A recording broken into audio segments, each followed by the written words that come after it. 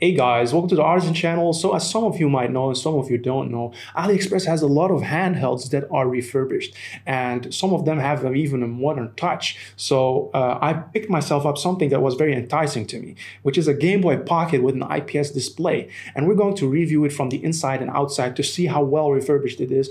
I have some experience with old handhelds and retro tech, so I can see if it is well uh, taken care of or not from the gunk on the inside and stuff like that, if there is. But maybe it is very well professionally cleaned. So we're going to check that out in this video to see if this is worth picking up or not. And it has an IPS display, so it is actually a good thing and a bad thing at the same time because it will drain a lot more battery life, I think, in my uh, humble opinion. But uh, we're going to check that out because it has two AAA batteries. We're going to see if it drains a lot faster than normal or not.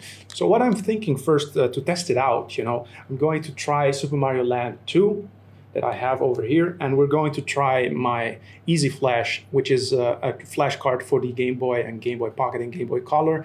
So uh, we're going to test it out because this is a lot more power hungry and it will not uh, boot at sometimes if the battery is not over, uh, fully charged. So that is a con of flash cards on Game Boys.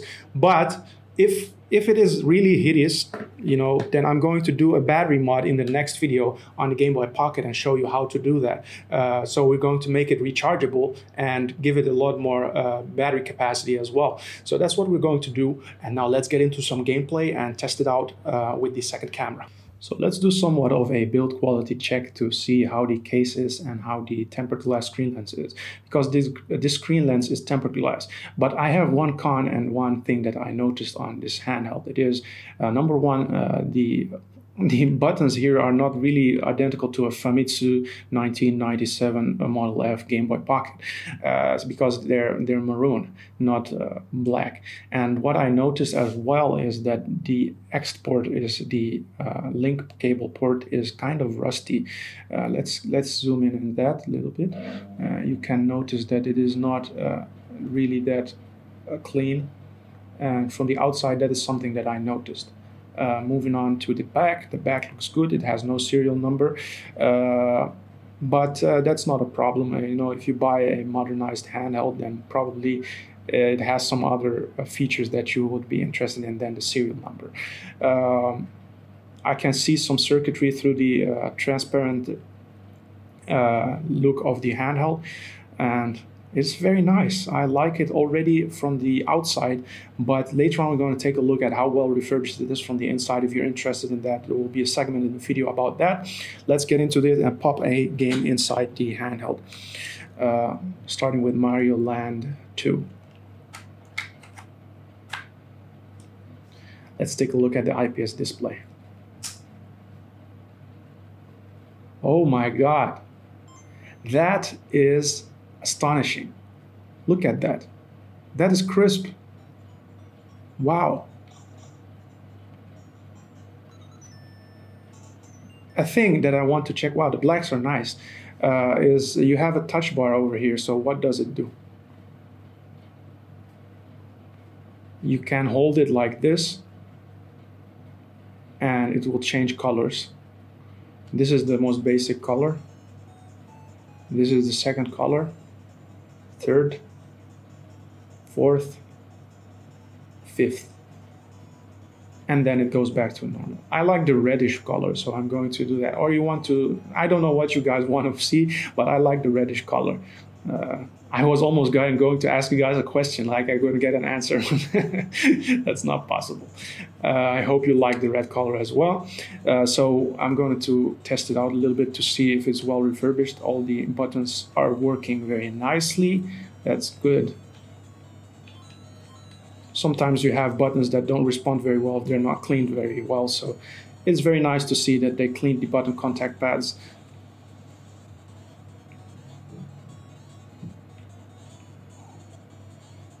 Yep, that's very responsive. Um, let's also check out the other function of the touch bar. It is the brightness control. So we can change the brightness and then it goes back to maximum. I like it as maximum because, shut up, don't, come out of your shell, Koopa. Uh, oh my God, that was, that was hideous. So uh, you can change the brightness like this, which is very nice.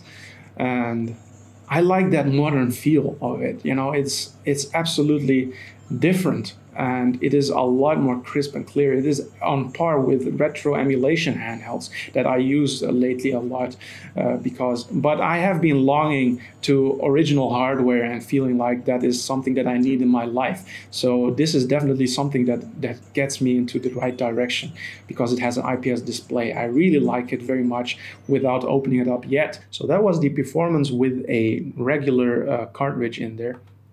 Let me get it out and let's pop in a flash card and see if it boots because this is not the newest battery that I've put in there but it is functional as you have seen. It is functional and I want to see if it has a boot loop or not. So let's see. Yeah I saw it looping already. Let's see if it goes in there. EZ-Flash loading. And then it goes back to because it detects that it doesn't have enough power. EZ-Flash and uh, EverDrive are power hungry, so we're going to compare them in a later video, EZ-Flash and uh, EverDrive, but I don't have an EverDrive yet, so we're going to get that later on and then compare it. But you can see that the power is not enough and it doesn't have enough voltage to maintain the EZ-Flash. So let's turn that off this is not an EverDrive or EZ-Flash review video, so let's keep that for a different video. Let's take a look at the inside of the handheld and do that. There are six screws holding down the back of the case. Two of them are tri-wing and four of them are uh, Phillips head. That's not the original assortment of screws, if I am correct, but uh, it does the job and I have no complaints about that.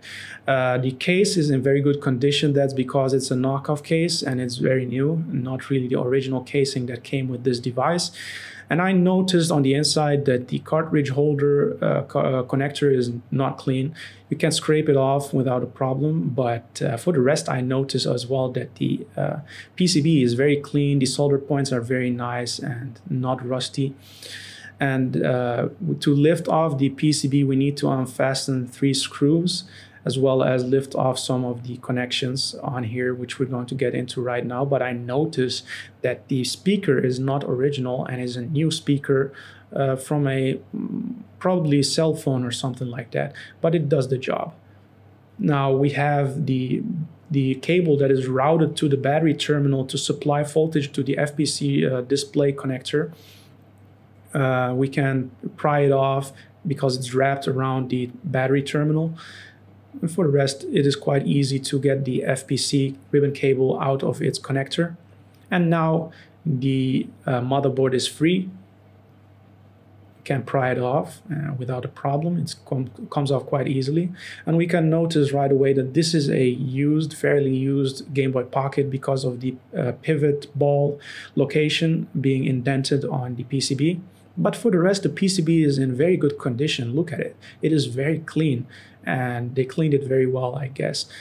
Mm, or it was in good condition already, but the headphone jack is kind of rusty and the potentiometers for the brightness and the volume are kind of dirty. Uh, I don't think you can clean those potentiometers easily with isopropyl, uh, but the connector is definitely cleanable and you can scrape it off quite easily without a problem. Now, I'm fairly happy with the uh, condition of the device. The button uh, button contact pads are also very new which is not a problem. It's very good of course much better than having the used ones in there. I already ranted about the famitsu color not being original but that's not a problem really. If you liked this modern design and modernized handheld then this definitely is something for you. I i don't see any problems with it as of now the IPS Game Boy Pocket has even become more impressive when I added the battery mod in there. Now it can drive the, uh, uh, the EZ-Flash without a problem and it has enough voltage for that and, and it's placed for hours without a problem. Uh, we have a 800 milliampere battery in here, uh, charging circuit from Adafruit PowerBoost 1000C uh, with a micro USB port, sadly not a USB Type-C port, but uh, I also put a voltage regulator in there to step it down to 3 volts and I fitted that all in here by shaving the uh, battery cavity down to none and nothing. Uh, so now it closes without a problem, but I had to modify the bottom to have brackets to be able to close the casing. That's kind of not really that great, but uh, you know, it does the job and I think this it's worth it in my opinion. So now it's rechargeable. It has an IPS display. It has a better battery life than any other Game Boy that's available without the battery mod. So the Game Boy Pocket has been brought back to life in modern age, which is very nice and I like it a lot and I'm going to play around with it a lot in the coming days. So uh, I really recommend you guys to pick up the, um, the refurbished Game Boy Pocket and I think it was really a good job uh, for what it is. You know, it has an IPS display and it drains quite faster. Yes, that's a problem, but uh, you know, if you do the battery mod, it's not a problem anymore if you have technical skills in that. But for the rest, it definitely is worth it because the IPS display made it completely like a new device, and I am really blown away by it. And the link is in the description down below in case you want to check it out. If you want to see another video with the battery mod tutorial and stuff like that, let me know in the comments down below because I have a Game Boy Color laying around and I need to do a battery uh, mod on it. And I can do that on camera in the next video if you want me to. Just let me know in the comments down below. Like the video, subscribe, and I'll see you guys in the next video.